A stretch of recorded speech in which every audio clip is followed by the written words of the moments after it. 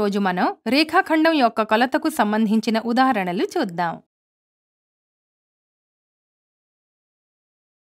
రేఖాఖండం AB is equal to మూడు సెంటీమీటర్లు రేఖాఖండం బీసీ ఈజ్ ఈక్వల్ టు నాలుగు సెంటీమీటర్లు మరియు రేఖాఖండం సిడి ఈజ్ ఈక్వల్ టు ఐదు సెంటీమీటర్లు అయ్యే విధంగా ఏ బీసీ మరియు డి బిందువులను ఒక కిరణంపై గుర్తించండి. కిరణం అంటే రే ప్రారంభ బిందువు నుండి మొదలై అనంతం వరకు పెరిగే జ్యామితి యొక్క ఒక ఆకారం. కిరణం మీద ఒక బిందువుని గుర్తించడానికి మొదట మనం ఒక కిరణాన్ని గీద్దాము.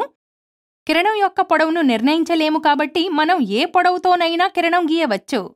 ఇక్కడ మనం కిరణం యొక్క ప్రారంభ బిందువు ఏను తీసుకుంటాము. ఇప్పుడు మనం దానిపై ఏబీ ఈజ్ ఈక్వల్ టు మూడు సెంటీమీటర్లు అనే రేఖాఖండంను గీయాలి. మనం దీన్ని ఎలా చేయాలో మీరు చెప్పగలరా? ఆలోచించండి. సరే మేమేం చెప్తాము? మనం ఒక విభాగిని మరియు ఒక స్కేల్ని తీసుకుంటాము. విభాగినిని తెరిచి దీని ఒక భుజం యొక్క అంత్య బిందువు స్కేల్ యొక్క సున్నాపై ఉంచుతాము. మరియు రేఖాఖండం ఏబీ పొడవు మూడు సెంటీమీటర్లు. కాబట్టి మనం దీని రెండవ భుజం యొక్క అంత్య బిందువుని మూడు సెంటీమీటర్లపై పెడతాము. తర్వాత మనం విభాగిని యొక్క వ్యాప్తిలో మార్పు చేయకుండా దీని ఒక భుజం యొక్క అంత్య బిందువు కిరణం ఏపై పెడతాము. మరియు రెండవ భుజం యొక్క అంత్యబిందువు కిరణంపై ఏ స్థానంలో వస్తుందో దానిని బీగా గుర్తిద్దాము. ఈ విధంగా మనం కిరణంపై బిందువు ఏ మరియు బిందువు బిని చూపుతాము. ఇప్పుడు మీరు దీనిపై బిందువు సిని చూపగలరా? ఇది మీరెలా చేయాలో ఆలోచించండి. సరిగ్గా చెప్పారు. ఇక్కడ బీసీ ఈక్వల్ టు నాలుగు సెంటీమీటర్లు. కాబట్టి మనం విభాగినిలో నాలుగు సెంటీమీటర్ల దూరం తీసుకుని కిరణంపై బిందువు బి నుండి నాలుగు సెంటీమీటర్ల దూరాన్ని కొలుస్తాము. ఈ కొలత ఎక్కడైతే వస్తుందో అక్కడ మనం బిందువు సిని గుర్తిద్దాం. ఇదే విధంగా డీని చూపడానికి మనం విభాగినిలో ఐదు సెంటీమీటర్ల దూరాన్ని తీసుకుని కిరణంపై బిందువు సి నుండి ఐదు సెంటీమీటర్ల దూరాన్ని కొలుస్తాము. ఈ కొలత ఎక్కడైతే వస్తుందో అక్కడ మనం బిందువు డీని గుర్తిద్దాం. ఈ విధంగా మనం బిందువులు ఏ బి సి మరియు డీలను కిరణంపై వ్యక్తపరిచాము. తదుపరి ఉదాహరణ ఇచ్చిన చిత్రాన్ని చూసి రేఖాఖండం ఏబీ యొక్క మధ్య బిందువును కనుగొనండి. ఇక్కడ మనం రేఖాఖండం ఏబీ మధ్య బిందువును కనుగొనాలి. దీనికోసం మొదట మనం రేఖాఖండం ఏబీ యొక్క పొడవును కనుగొనాలి. ఇచ్చిన చిత్రాన్ని చూసి మీరు రేఖాఖండం ఏబీ యొక్క పొడవును చెప్పగలరా? ప్రయత్నించండి.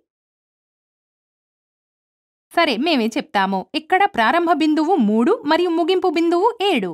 మూడు మరియు ఏడు మధ్య నాలుగు సెంటీమీటర్ల దూరం ఉంది. కాబట్టి మనం రేఖాఖండం ఏబీ యొక్క పొడవు నాలుగు సెంటీమీటర్లు అని చెప్పవచ్చు. మీరు దీనినే మరో విధంగా చేయవచ్చు. ఇక్కడ బిందువు బి ఏడు సెంటీమీటర్ల స్థానంలో ఉంది మరియు బిందువు ఏ మూడు సెంటీమీటర్ల స్థానంలో ఉంది. రెండు బిందువుల మధ్య దూరాన్ని కనుగొనడానికి మనం ఏడు సెంటీమీటర్ల నుండి మూడు సెంటీమీటర్లను తీసివేస్తాము. దీని ఫలితంతో మనకు ఏబీ యొక్క పొడవు నాలుగు సెంటీమీటర్లు అని తెలుస్తుంది. ఏ మరియు బీల నుండి సమానంగా ఉండే స్థానం ఏబీ యొక్క మధ్య బిందువు అవుతుంది. అంటే మధ్య బిందువును కనుగొనడానికి మనకి లభించిన పొడవు నాలుగు సెంటీమీటర్లను రెండుతో భాగించాలి. భాగించిన తర్వాత ఫలితం రెండు సెంటీమీటర్లు వస్తుంది.